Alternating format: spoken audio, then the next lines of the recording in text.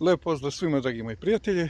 Evo još jedan video ovdje iz Banje Vrućice iz Bosne kod Teslića grada. I ovoga jutra onako padala je kiša noćas, sve je vlažno, puno rose, ali je sve u svemu lepo. I uglavnom imamo neke sastanke tu, pa skoro da i nismo vani i ne vidimo kako to izgleda, ali nema veze nije loše biti ovde koji dan. Šta reći o događajima koji se odigravaju svakog dana? A svakog dana je sve komplikovanije i komplikovanije. S jedne strane, jedni govore o trećem svetskom ratu i onako, što bi kazali, baš ozbiljno govore o tome. Ja nisam siguran da će do toga doći, ali nisam ni siguran da neće doći zato što krv je previše uzavrela ovi na zapadu koji gube, koji nemaju energiju, Evropa, Francuska, Nemačka i druge zemlje zapadne Evrope nemaju dovoljno struje, nemaju dovoljno energije, ne mogu da funkcionišu.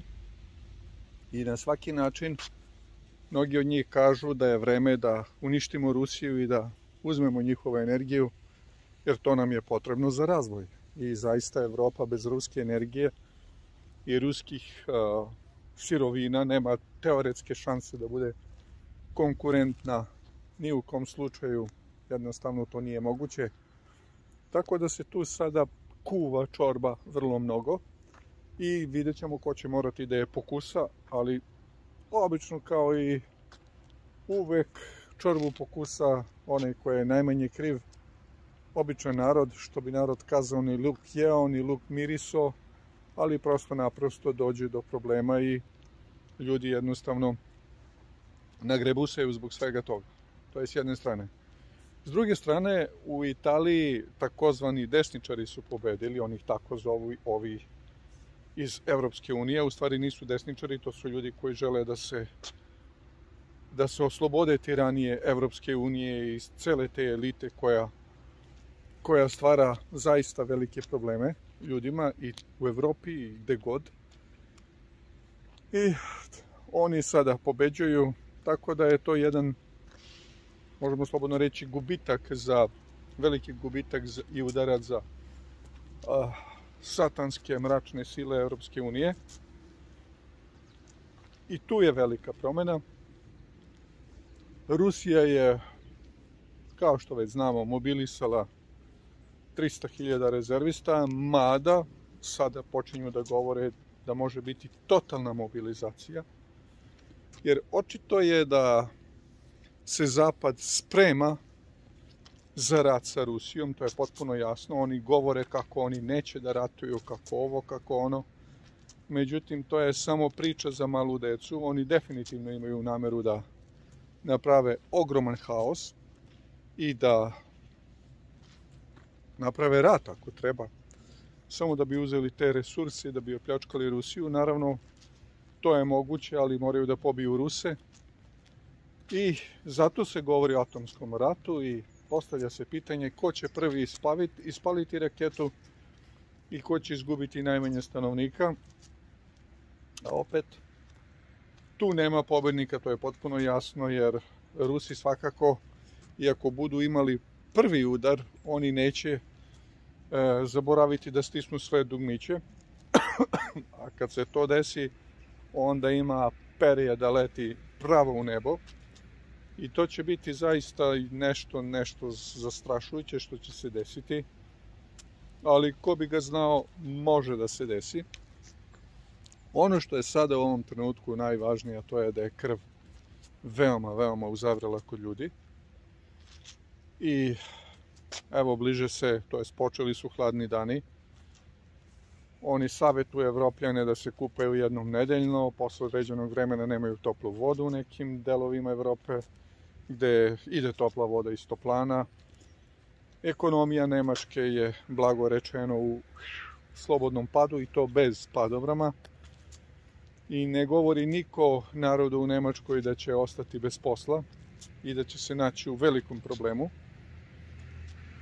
to su sada tako krupne stvari, tako krupni događaj, da to prevazilazi sve ono što je svet video posle drugog svetskog rata. Naravno, bile su krize, bili su, bio je haos, ali ovo sada to je zaista veliko.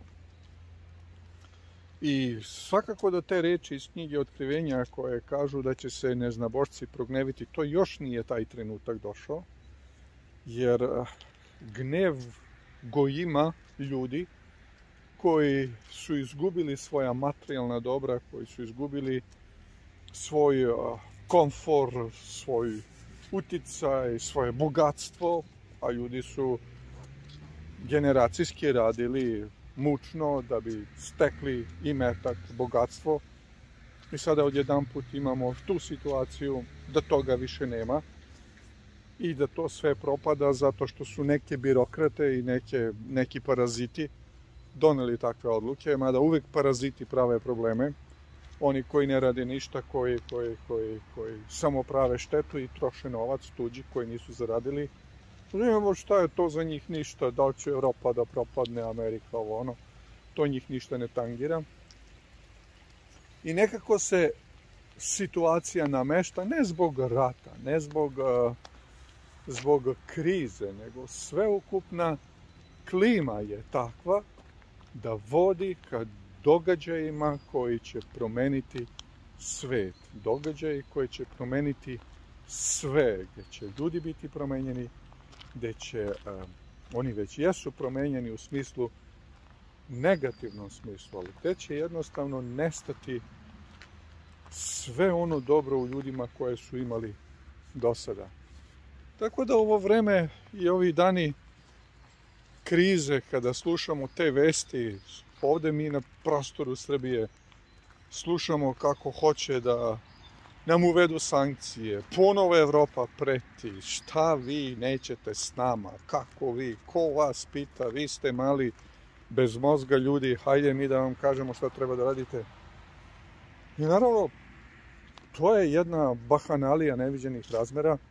Oni u suštini misle da mogu da nateraju narod da uradi ono što oni hoće, ali to ne može. Jednostavno, što bi rekli, ne može slonče u lonče da stane. Jednostavno, to ne biva. I to jeste, a, jeste činjenica i to jeste istina. Znači, to što su oni zamislili i osmislili da urade sa ljudima, to svakako neće biti moguće. Jer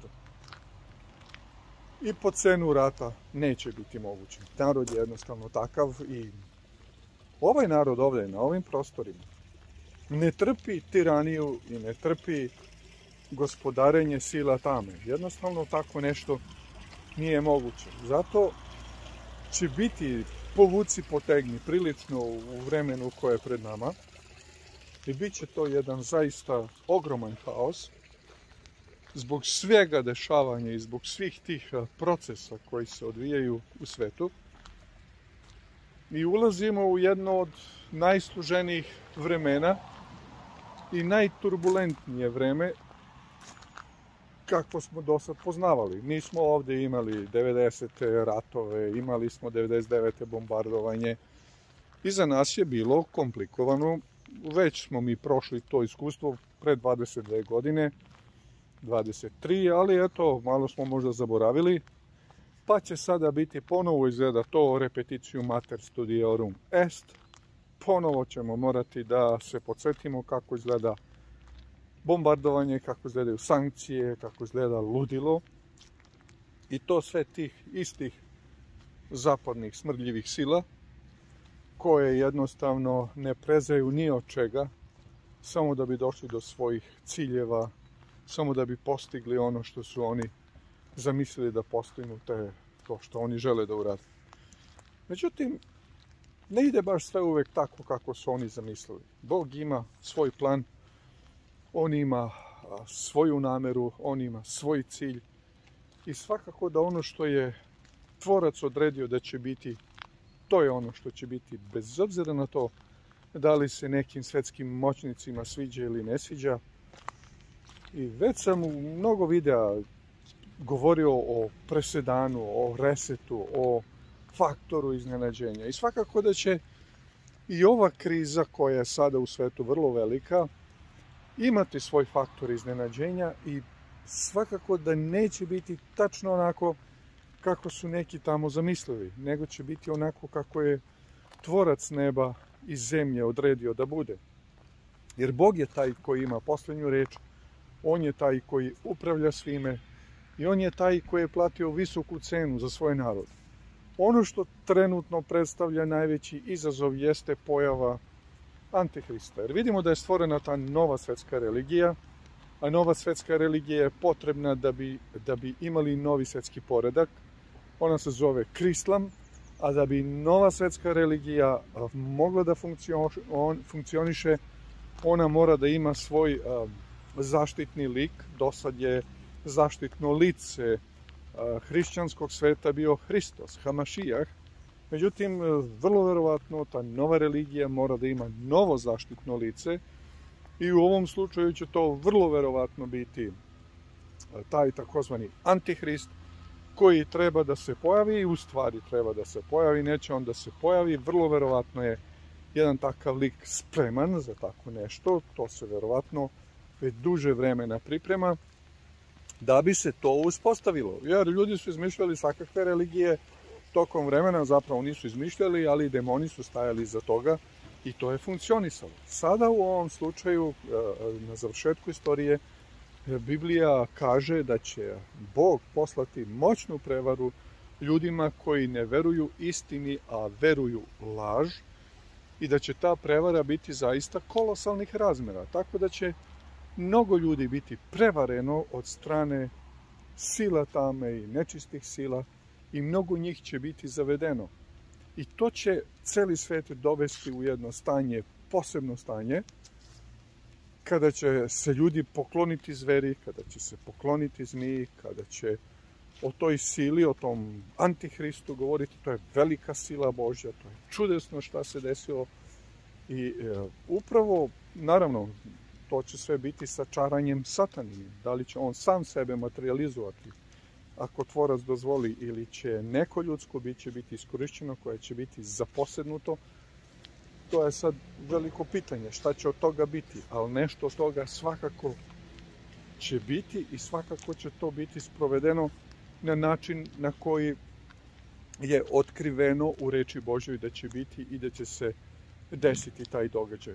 I zato je ovo vreme priličnog izazova. S jedne strane imamo svu tu krizu u svetu koja može da preraste u jedan globalni rat, jedno globalno, uh, globalno uništenje ljudi, da ne kažem neku težu reč.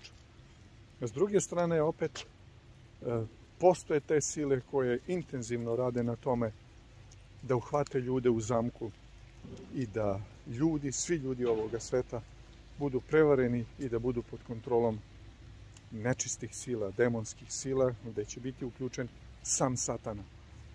Tako da je to jedan proces ogromnih razmera koji se odigrava i koji teče. To je proces koji bukvalno menja sve.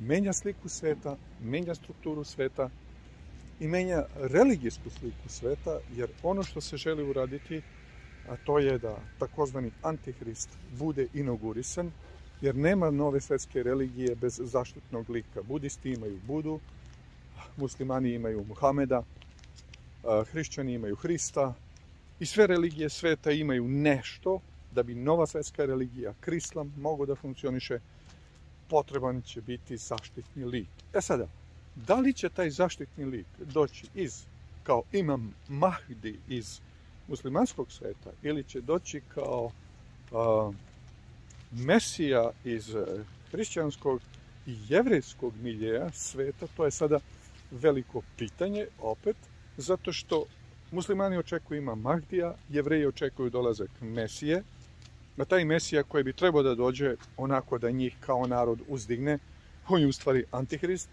a hrišćani očekuju drugi Hristov dolazak, ali sad je to sve veliko pitanje šta će se od toga desiti i na koji način će cela ta priča biti zaokružena u stvarnim događajima i u onome što se dešava u svetu. I ti stvarni događaji, istinski događaji koji, koji, koji su se namestili. Nova religija je usvojena deklarativno, to je otprilike dođe ono kao one rezolucije komunističke partije, pa se oni sastanu tamo negde, pa onda glasaju partijski drugovi i onda oni zaključe neku budalaštinu. I tako su se i ovi sastali i zaključili neku, da ne kažem budalaštinu, ali upravo to da oni stvaraju kristlam, spoj hrišćanstva islama i judaizma u jednu jedinstvenu svetsku religiju i tamo su napravili u Saudi Arabiji taj Mojsijev, Mojsijev, Mojsijev centar gde su tu i muslimani i jevreji i hrišćani i tako dalje i tako dalje, mada je ideja da se takvi centri prave i širom Evrope i da to sve bude taj takozvani novi svet, nova religija. To što, što se sada dešava, to toliko uh, svedoči o tome da je Hristov dolazak pred vratima. To je toliko bučno, toliko silno, toliko moćno, da zaista mi jesmo generacija koja će imati priliku da se susretne sa Hristom, sa njegovim dolaskom, sa znamenitim i značajnim događajima koji će promeniti sliku sveta kakvu mi danas poznajemo. I kada su rekli da je sa covidom došla nova normalnost, oni su bili potpuno u pravu. To je potpuno novo ludilo i novo, nova nenormalnost. A sada kada su kazali da treba svete da zaboravi na komfor, oni žele, to su zvanično rekli, oni žele da totalno eliminišu materijalnu udobnost koju su ljudi do sad imali i da gotovo sve ljude stave na, na, na cuclu države, da svi tu mogu dobijati onoliko koliko im se da. I to je jedna kolosalna promjena gde glavni udar će biti na slobodu ljudi, na slobodu veroispovesti, na slobodu govora i na sve druge moguće, a i nemoguće slobode. Što znači da će ceo taj proces koji je sada u toku, koji se odvija i koji teče, da će on biti završen uh, u jednom neverovatnom, možemo slobodno reći, uh,